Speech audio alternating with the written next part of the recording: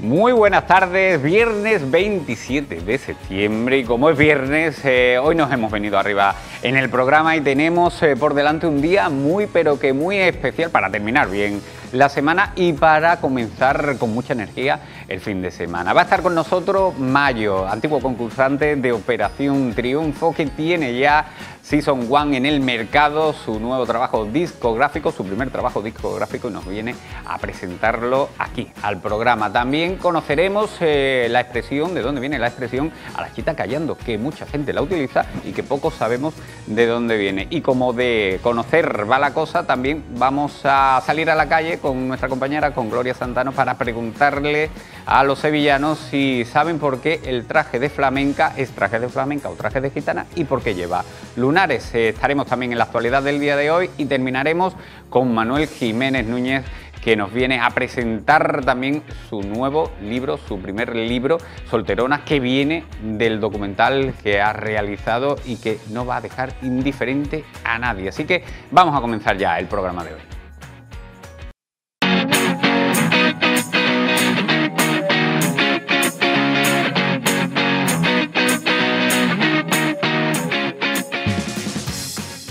Y vamos a despedir la semana como Dios manda, con buena música y con una artista que ya ha pasado por aquí, pero que teníamos muchas ganas de, que viniera para que nos presentara ese nuevo trabajo discográfico que tiene ya en el mercado y del cual está tremendamente ilusionado. Mayo, ¿qué tal? Muy buenas tardes. Muy buenas, ¿qué tal? Lo he dicho bien, ¿no? Tremendamente, tremendamente ilusionado, ¿verdad? Tremendamente. Oye, eh, ¿cómo va? Porque yo creo que, desde que sales de, OT, todo es a cuesta abajo, ¿no? Súper rápido todo. Sacan los singles, eh, ahora el disco. Eh, hay tiempo de disfrutar de estas cosas. Sí, sí, sí, sí, de vez en cuando. O sea, hay meses y meses, ¿eh? Hay meses que no te da tiempo ni a respirar, pero después es verdad que también encuentras de vez en cuando... Tú sabes en el día en el que vives, ¿no? que estamos a ver. La mayoría de veces no, ¿eh? el día, hoy yo, hoy por ejemplo vengo que no sé ni dónde estoy, pero Claro, al final son muchas cosas, ¿no? No solamente la cuestión meramente física de trabajar y sacar el disco y de, grabarlo y de todas estas cuestiones, sino también la promo que a lo mejor es lo que cuesta un poquito más, más de trabajo porque tienes que ir para un lado, para otro, una entrevista, aguantar bueno, mí, aguantar otro. En realidad hay un mogollón de cosas que no se ven pero que, están ahí. O sea, cuando no estoy de promo estoy de o haciendo música o grabando algún vídeo o algo o preparando los físicos que también tenemos que prepararlo ensayando para los shows. O sea, realmente hay un montón de, como de pasitos que no se ven, pero ahí están. ¿Te ha cambiado mucho la vida? Bastante, bastante la verdad. Pero bueno, estás feliz, eso es lo bueno. Sí, Pero te cambia, sobre todo que, ya no puedes disfrutar de nuestras calles, ya tienes que disfrutar de las calles de Madrid, ¿verdad? Ahí estamos. Sí, sí. Eso es lo que peor se puede Cuando puedo me escapo, ¿eh? Pero casi nunca, ¿verdad? Eso te iba a decir, cuando puedes te escapas, y cuando puedes, y cuando puedes. Bueno, hablamos del disco eh, Season One, eh, cuéntame, ¿qué vamos a tener? Aunque ya hemos pues tenido anticipos de lo, que, de lo que va a haber, pero cuéntame. Sí, pues bueno, pues básicamente es un poco como... Mm, ¿Cómo te explico? A ver, como es el primer trabajo que he hecho, quería un poco como presentarme ¿no? al público y hablar un poco de mi vida y, y como que me conocieran. Entonces vas pues tiene como un arco narrativo ¿no? en el que te explico pues, diferentes etapas de mi vida. Y va desde que soy más joven hasta hace unos meses. Eh, cuando decides presentarte de esta forma eh, y abrirte tanto, ¿se tiene un poquito de, miedo o es lo que necesitabas? ¿Es lo que a necesitabas? a mí es que me gusta hacer música así, en verdad. O sea, siempre da un poco de miedo, ¿no? Pero realmente es como que siempre lo he hecho así, porque aunque lleve como en mi carrera unos meses, realmente quería dedicarme a la música de siempre y de pequeño estudié música y todo, entonces como que llevo ya muchos años haciendo canciones y cosas. Entonces siempre ha sido así, ha sido un poco como una manera de, escape o de poder gestionar las cosas que me pasan, ¿sabes? Fíjate que te he escuchado una reflexión que me parece súper interesante, Mayo, porque eh, a los jóvenes ahora eh, las oportunidades para dedicarse al mundo de la música, mm, creo que donde lejos de que podemos pensar que son muchas, no hay tantas. No, hay, tantas. O, lo haces por redes sociales y, triunfas, o te presentas a, programas como Operación Triunfo. Eh, creo que si quitas esas dos cosas, la vía que te queda es complicada. ¿eh? Es complicado, mm. sí. Porque esto viene al caso de que bueno, se ha criticado en anteriores ediciones a muchos a, Operación Triunfo, por bueno, porque a lo mejor no, eran o no marcaban los cánones o no era de los cánones adecuados eh, para puristas. Pero que creo que ahora mismo estoy contigo, es que si no, ¿cómo sale un joven, un joven para, para adelante en el mundo de la música? Total, ya, bueno, yo por ejemplo antes de Operación Triunfo estaba estudiando sonido porque como no sabía tampoco qué hacer, digo, bueno, por lo menos me puedo quedar un productor musical o algo. Entonces intentaba como formarme e intentar meter la cabecita por ahí un poco. Pero es verdad que es muy complicado. Y que no es fácil este mundo, que no es nada fácil. Oye, eh, en, Season 1, mm, yo supongo que también mm, esto, esto es algo importante, no solamente por ser el primero, sino porque marca un poco eh, lo que tú dices, ¿no? Esa carta de presentación, ese estilo que tú quieres ir imprimiendo, ¿no? Y ahí eso es muy importante, empezar a, crear ya tu propio camino. Claro, como la base un poco, ¿eh? Sí.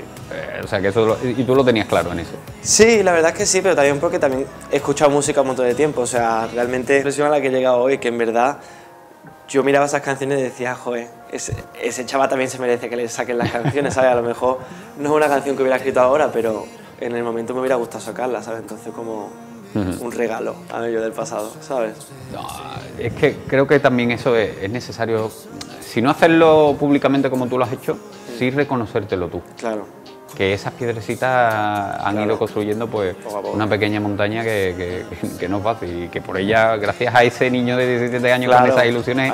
Está... todo el rato, ¿sabes? Vas como todo el rato adaptándote a tu nueva vida. Pero la verdad que bastante bien. Entonces había mucha expectación y yo llevaba un montón de meses esperándolo. Y la verdad que fue una experiencia muy guay. Oye, eh, quizás me digas que no, pero eh, me digas que no, pero este, este, gracias, muchísimas gracias. por este ratito, un placer, amigo. Y lo dicho, cuando tengas un ratito y te bajes de Madrid para acá, te claro vienes que sí, te vienes para acá. Gracias, gracias, Mayo. Bueno, tenemos que avanzar en el programa y lo hacemos ahora con una sesión que a mí me encanta, una idea de Gloria Santano, de saber cómo eh, van teniendo los orígenes las palabras y cómo van evolucionando. Y en esta ocasión vamos a conocer un poquito de esa expresión que muchos la utilizan y que no siempre se sabe de dónde viene. A la chita callando, a la chita callando, que no me salía. Este monumento, que es el de Fernando III, tiene ahí a un rey también muy importante en Sevilla, que es Alfonso X el Sabio, que es su hijo, el que tenéis ahí justo debajo. Y aprovecho para decirte otra expresión que es a la chita callando que como tú sabes es silenciosamente, ¿no? Sigilosamente. sin que nadie se entere, ¿no? Entonces, yo te voy a decir lo que se defiende desde aquí, desde Sevilla, que además nos lo, nos lo dice José María de Mena en sus leyendas y, y demás, ¿no? Pues mira, parece ser que los musulmanes introdujeron un animal, una especie de gato monté, guepardo, que lo llamaban sita, de ahí viene chita, y que en época de Alfonso X, ese animal que era muy bueno para la caza, se prohibió porque era muy sanguinario. ¿Qué es lo que ocurre? Claro, los cazadores no querían perder sus presas y ese animal era infalible para cazar, entonces siguieron usándola sin que se enterara la ley. Callándose. Ahí está. A la chita callando. No sé, que ha hecho algo que, tiene gracia, ¿no? O sea, que tiene, ha hecho algo que lleva mucha razón, ¿no? Como, yo qué sé, qué sé qué significa. yo qué sé, mira que me lo ha dicho, que por estudiar antropología debería saberlo, pero no sé, soy para esas cosas soy muy cateto. No tengo ni idea, la verdad que no. Como que callar estaba mejor, más guapo, algo así, no sé. Chica, la expresión a la chita callando. ¿A la chita callando? No. No. No. Que calle punto en boca, ¿no? Que se callen, que no digan nada, ¿no? ¿Está mejor calladito? La chita callando, no lo he escuchado en mi vida. Yo tampoco lo he escuchado nunca. A la chita callando. A tu casa en silencio, por ejemplo. Ni idea. ¿La qué? La presión a la chita callando. Pues entiendo que será algo así como. Pues no, la verdad que no. Mira que soy de aquí de toda la vida, pero. A la chita callando. Pues la buscaré cuando llegue. ¿No me lo puede decir usted? A la chita callando es cuando haces algo eh, a la espalda de alguien, ¿no? Pues, pues como escondidas. Eh, algo que no se enteren los demás. Uno es así que parece que es muy buena, pero va por detrás a la chita callando. Significa sigilosamente, escondidas. A la chita callando es que te vas haciendo cosas que sabes que has hecho mal y sales para que no te culpen. Eso es la chita callando. La historia, la chita callando. No sé, es que suena muy en plan la chica o la chiquilla callando, no sé, suena algo así. A la chita callando. Es que no se me ocurre de que, no sé, sé que tiene que venir de un siglo de pasado, bueno, de, de siglos pasados y todo eso, como todas las presiones estas, pero ahora esta no, no te puedo decir, lo siento. Buah, pues no. Entiendo que callar es el tema de hacerlo a las espaldas, pero no, no logro saber cor- relacionarlo. Hombre, no sé, andaluz puede ser, pero antiguo no lo sé. No sé. ¿Italiano? Parece italiano, portugués o algo así.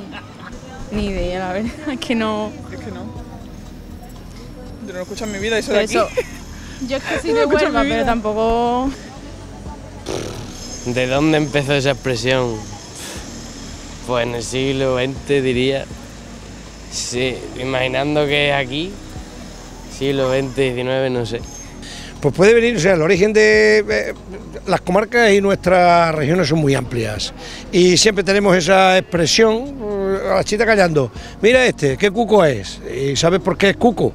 Porque el cuco y la cuca se aprovechan de los nidos de los demás. Pues eso igual. Es un animal, que, un, un felino que corre muy rápido. A la chita callando, una de las expresiones más andaluzas que hay y que empleamos mucho y que ahora por fin pues ya sabemos de dónde viene. Anda que nos iban a decir a nosotros que la chita era un, tipo de, leopardo. Eh, yo creo que muy poca gente sabía y conocía esta historia que aquí en Sevilla TV les resolvemos. Bueno, pues llegado a este, a este punto tenemos que hacer una pausa para la publicidad, pero no se vayan porque a la vuelta llegan eh, pues eh, la actualidad del día de hoy, llega también el Sevilla Te Oye con Gloria Y terminaremos con Manuel Núñez, Manuel Jiménez Núñez que presenta su primer libro, Solteronas. Así que no se vayan que enseguida estamos de vuelta.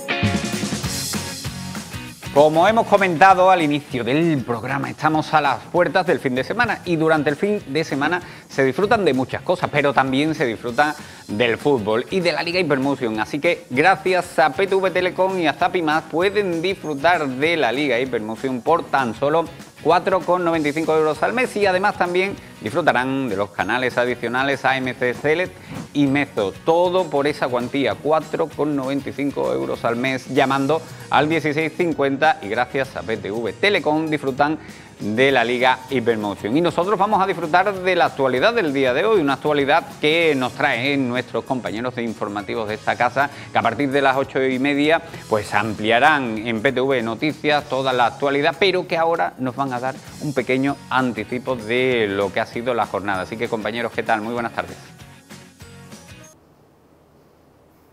Manolo, compañero, último día de la semana, viernes aquí en PTV Sevilla e igualmente a partir de las ocho y media lanzamos, como bien sabes, una nueva edición de los servicios informativos de esta casa, PTV Noticias 2 a partir de las ocho y media de la tarde en una jornada en la que ha hablado el alcalde de Sevilla, José Luis Sanz, de numerosísimos temas, pero sobre todo uno de los más acuciantes y que ha generado también debate y revuelo en una zona concreta de la ciudad. Hablamos del barrio del Cerro del Águila porque ayer varias decenas de vecinos eh, de algún modo boicotearon el pregón de la vela del barrio del Cerro del Águila para reclamar, para protestar contra esa posible instalación o inauguración de un albergue para personas sin hogar en este citado barrio de la ciudad de Sevilla. El alcalde, por su parte, ha indicado que no se trata de ningún tipo de albergue, ha desmentido categóricamente la apertura de este centro que ha catalogado como centro resiliente que ocuparán 25 personas que además se van a instalar en otros barrios como el Polígono Sur o como por ejemplo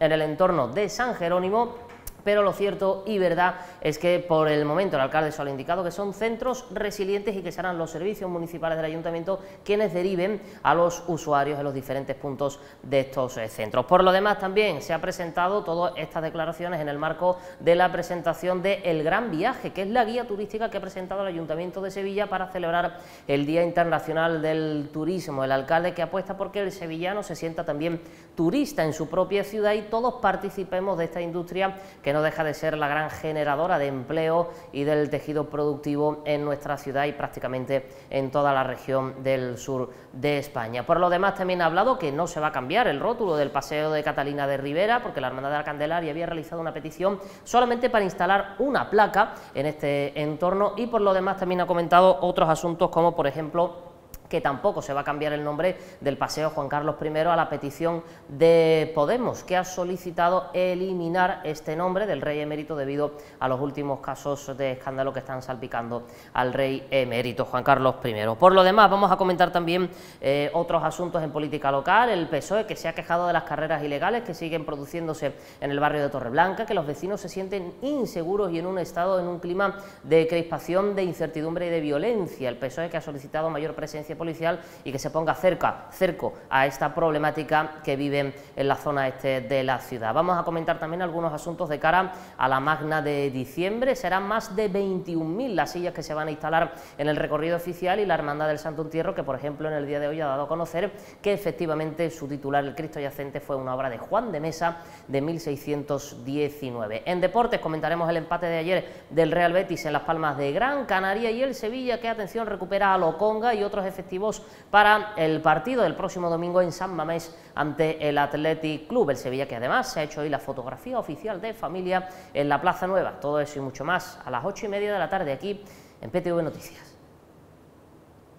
Encaramos ya la recta final del programa y lo tenemos que hacer hablando de este libro, Solteronas, que nace a partir de un documental de Manuel Jiménez Núñez que nos acompaña. Muy buenas tardes, amigo, un placer. Es todo un honor tenerte por aquí, un placer inmenso y, y- y- y me llama mucho la atención porque eh, cuando bueno, eh, surgió la posibilidad de, de que vinieses y tal, eh, cuando vi el título del libro, Solterona, hacía mucho, mucho tiempo que no escuchaba esa expresión, pero durante gran parte de, de mi vida yo la he escuchado y todo el mundo nos hemos sentido alguna vez eh, familiarizado con esa expresión porque en la familia o el amigo tenía un familiar, existían las solteronas. Claro, todos tenemos, eh, yo la verdad es que cuando me lo planteé pensé en mi tía Mari, todos tenemos una persona que esa tía abuela, esa tía y tal, alguna solterona cercana. Eh, ¿Pero por qué ese término despectivo? ¿De dónde viene? ¿De dónde procede? ¿Cuál es el origen? Pues y sobre todo, ¿qué sentido tiene? Porque tampoco...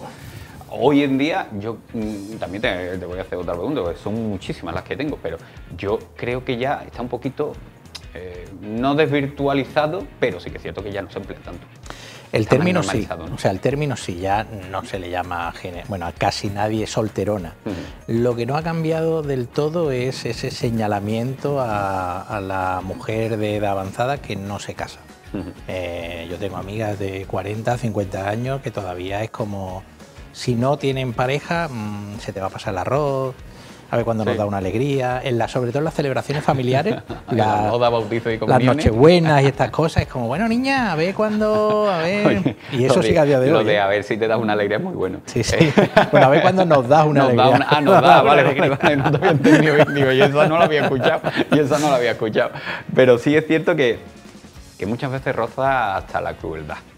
Sí, sí. El, el- el término con el que se emplea, o cómo se habla de, de- de- de este tipo de mujeres. Claro, tú piensas que es verdad que en el mejor de los casos se les tenía lástima.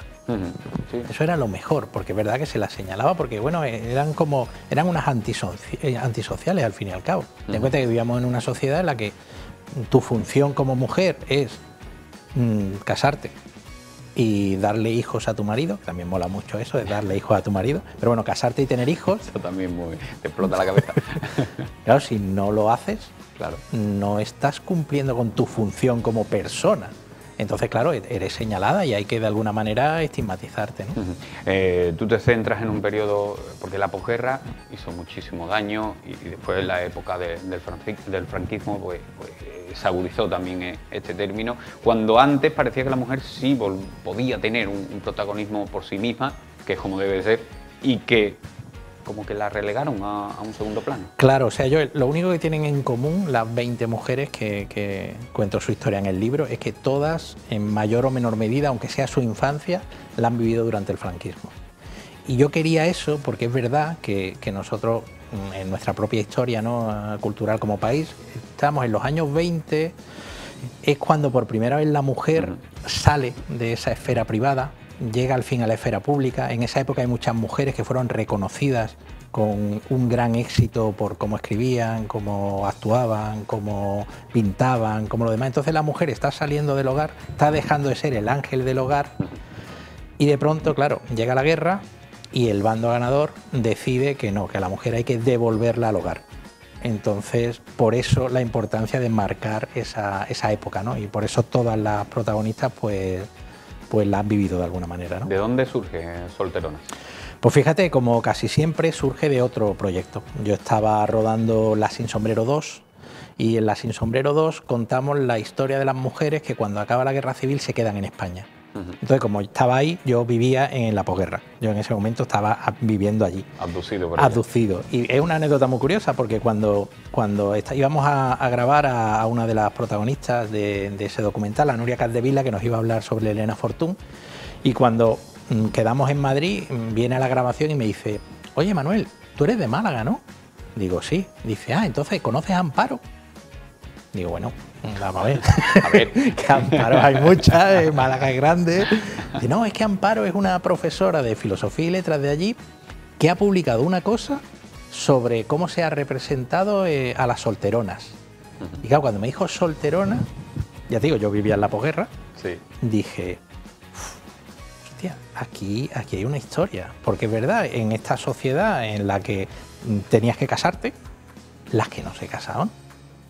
Y claro, ya me acordé de mi tía Mari y dije, yo creo que aquí hay que, hay que hacer un documental. Y lo primero que hice al volver a Málaga es buscar Amparo.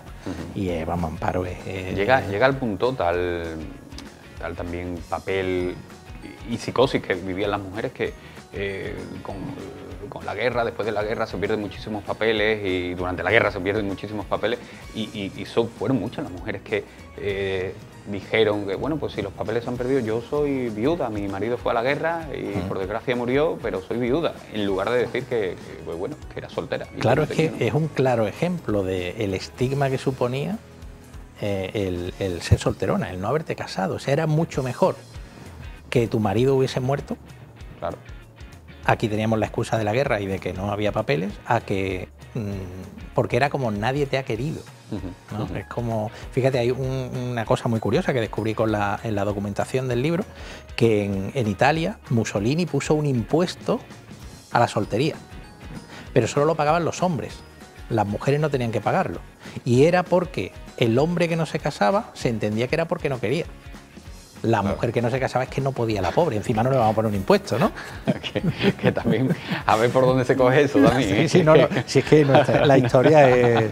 Bueno, eh, en China también hay un mercado, corrígeme si me equivoco, creo que hay un mercado eh, del Sí, sí, eso a día de hoy. Eso a día de hoy, que eso es, es Eso existe alucinante. todavía. ¿no? Eso existe a día de hoy, además. más, y a las que a, la- a la- a las niñas que no tienen un novio, eh, creo que sus padres le cuelgan un currículum, creo. sí, ¿no? generalmente en esos mercadillos son, es como un mercadillo, es como aquí el, el- ¿cómo se llama aquí? El, el charco de la pava. Sí, el charco de la pava. el Pues charco como ya el charco de la pava. Charco la y pava. allí, pues en vez de tener vende braga, pues tienes los currículums de tu hija. Pero además el currículum no solo eh, los estudios que tiene y tal, sino si tiene trabajo, cuánto gana, si tiene coche, si tiene propiedades. Porque allí la mujer que cumple los 25 años, si no se ha casado, pues mm, de hecho hay un término con la que, igual que aquí le llamamos solteronas, ellas tienen un término que significa mujer sobrante. Y eso son allí las solteronas. Bueno, pues solterona con 25 años. Bueno, eso también te- Y a día de hoy.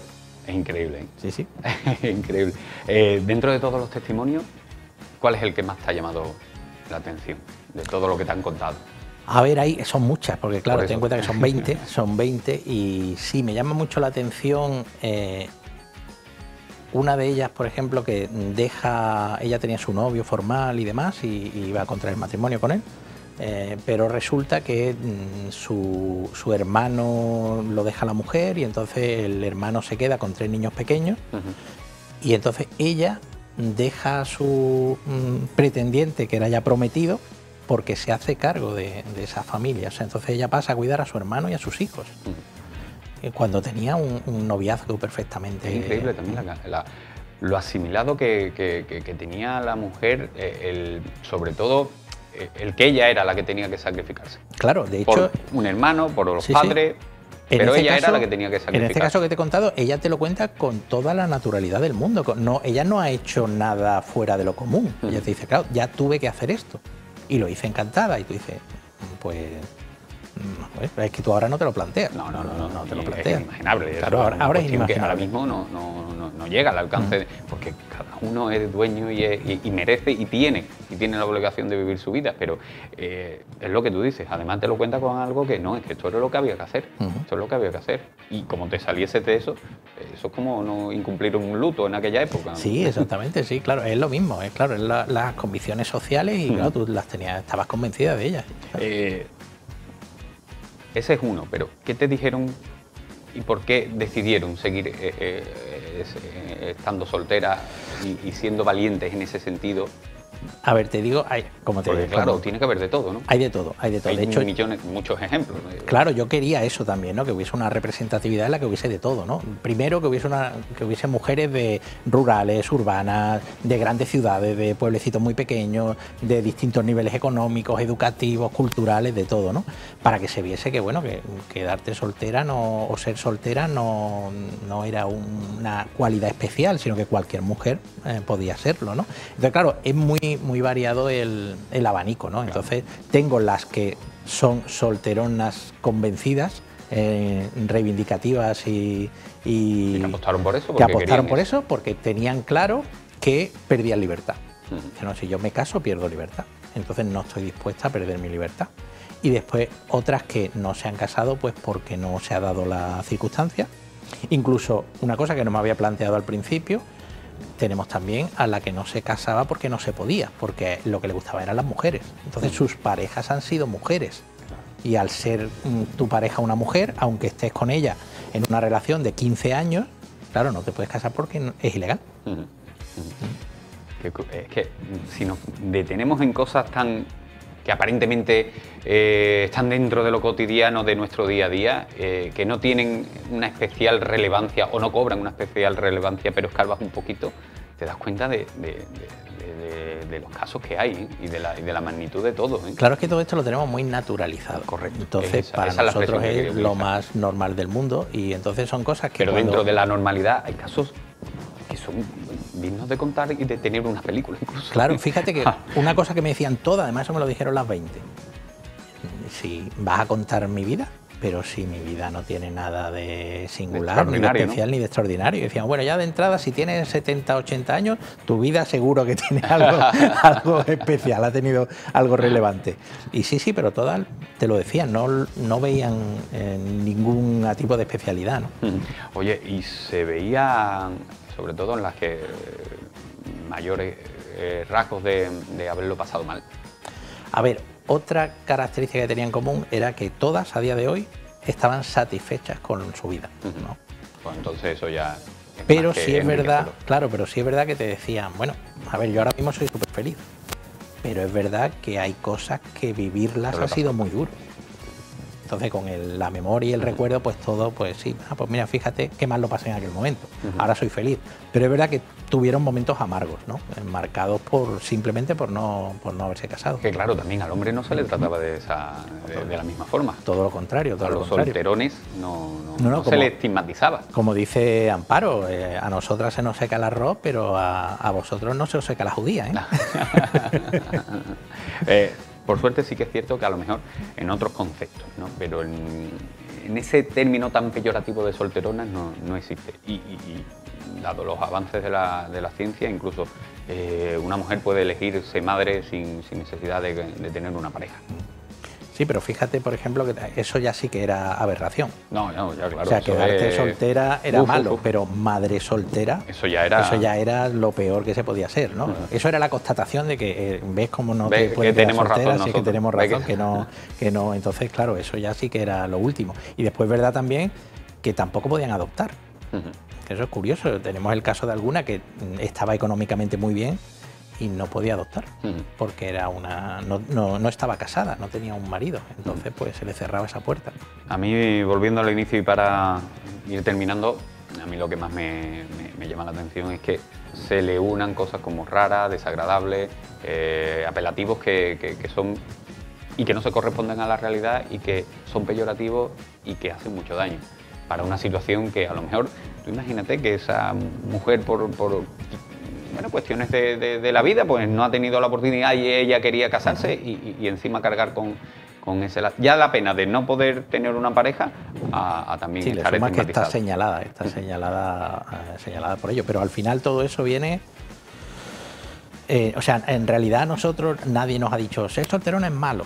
Mm, Pero, claro, eh, Pero las canciones que hemos- la, ¿no? RAE, la RAE te señala que simplemente lo que es y no, no, no tiene, no ningún tiene un carácter así, pero claro, después las películas que hemos visto, la- los libros que hemos leído, el teatro, la publicidad, todo nos ha inoculado ese mensaje de solterona malo, solterona malo, solterona malo. Totalmente. Pues Manuel, un placer. Igualmente. Un placer que estés aquí, que hayas venido a presentar tu, tu primer libro. Espero que no sea el único, aunque no sé. Espero Más pero- pero- documentales voy a hacer. Y el Más documental, sobre todo, no hay que perderse ni el documental ni el libro. Pues lo dicho, Manuel, que muchas gracias, un placer. Gracias a ti. Bueno, nos marchamos, nos despedimos ya del programa de hoy. Espero que hayan disfrutado y sobre todo recomendamos Solterona de Manuel Jiménez Núñez. Eh, que pasen una feliz tarde y mañana nos volvemos a... No, mañana no, nos vemos ya el lunes. El lunes nos vemos. Así que que pasen un buen fin de semana y una buena tarde. Hasta luego.